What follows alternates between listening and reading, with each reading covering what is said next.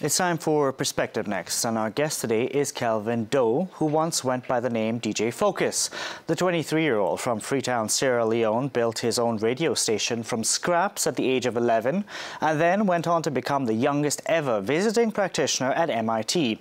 With an array of engineering projects behind him, Kelvin is now living and studying in Canada. In Sierra Leone, we have not too much electricity I like to come um, once in a week and the, the rest of the month dark. So I made my own battery to power lights in people's houses. Whatever thing I, have I've learned here, I will share it with my friends, colleagues, loved ones, and do it as a team. That is my aim, to promote innovation in Sierra Leone among young people. We can now go across to Toronto and speak to Kelvin Doe. Kelvin, thank you very much for joining us here on France 24. Firstly, what are you up to in Canada? Um, you know, I'm currently taking uh, an entrepreneurship program and also, you know, trying to set up um, an innovation fund. The goal behind that is to um, support young innovators in Sierra Leone and around the world. Now, in yeah, the I've been doing a lot of work lately. Okay, you've been doing a lot of work. Now, in the past, you know, you have mentioned the, the need uh, of climate change. You've spoken about this. You said that's something that's affecting the African continent. What are you working on to tackle climate change? Um, well, I think firstly, what we need to do, um, we need to inform, you know, people about, you know, um, the crisis itself. Um, you know, so partly what I'm, I'm, I'm doing right now, you know, I'm actually developing a program that would not only um, build a, a, device, but also educating people that you know this is something that we all need to um, address, not only at a at a political level, but also amongst ourselves as young people. So, you know, part of what we're doing currently um, with the with the innovation fund that I'm trying to set up um, the goal is to go to schools and, and, and educate people about you know climate change and what we can all do to to inform people. Okay, so uh, you must be aware that there is a movement right now. Every Friday, you have children from high schools across the world who are skipping school uh, to protest uh, the need, you know, to to to to shine the spotlight on a climate change.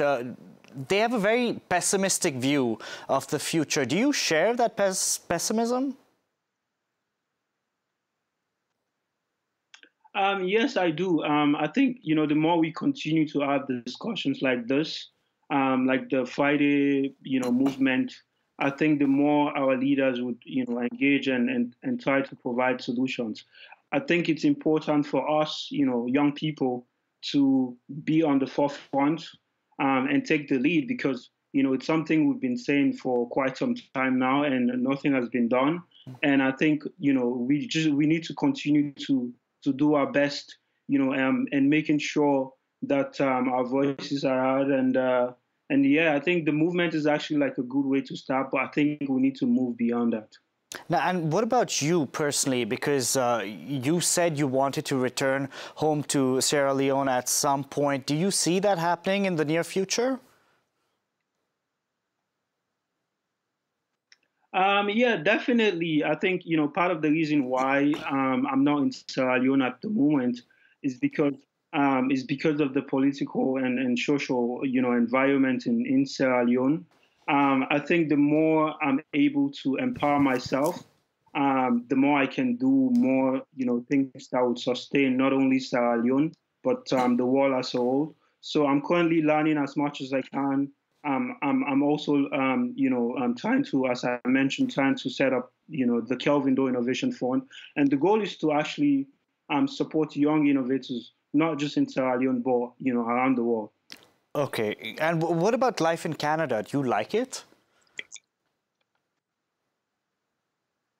Um, well, you know, I I guess um, you know things are things are moving um, uh, uh not not not the way I expected. Because, but like I, I guess you know it's all part of the learning process. Um, at some point, I'm definitely, you know, want to go back to Sierra Leone and, and continue to do the things that I do. But obviously, um, I'm alive and, uh, you know, trying to make the best out of it. Now you said you your your fund helps support innovators uh, not only in Sierra Leone but around the world. How important is it for you to change the African narrative? Um, I think it's it's it, for me it's very important. You know, it's part of the reason why um, I decided to build a radio station to connect the community and the government.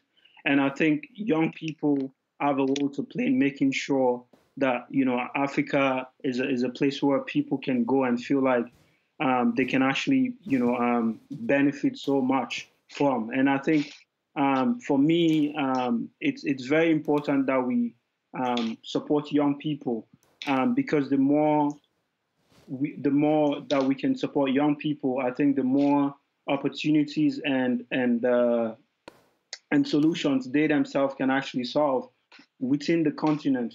And uh, part of the reason why I'm trying to build the innovation fund um, is because I think we have so much, you know, potential within the continent, and if we can invest in young people, we can actually get them to solve the problem that is facing Africa.